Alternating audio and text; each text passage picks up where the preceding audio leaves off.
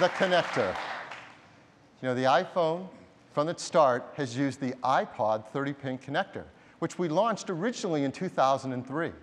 And it served us well for almost a decade. But so much has changed since we first created that 30-pin connector.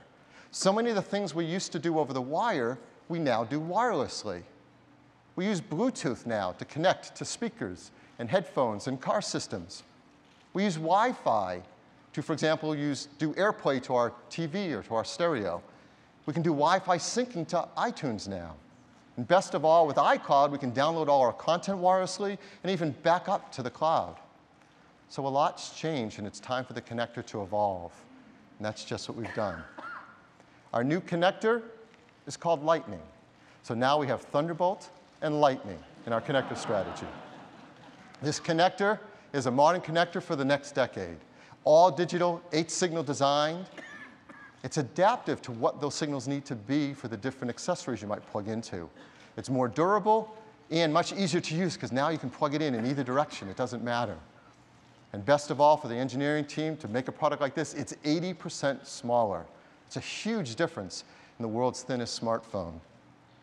We're working with accessory makers to have them integrate Lightning connectors into products you may choose to buy. For example, this holiday season, we have great partners working with us, partners like Bose, JBL, Bowers & Wilkins, Bang & Olufsen, and many more.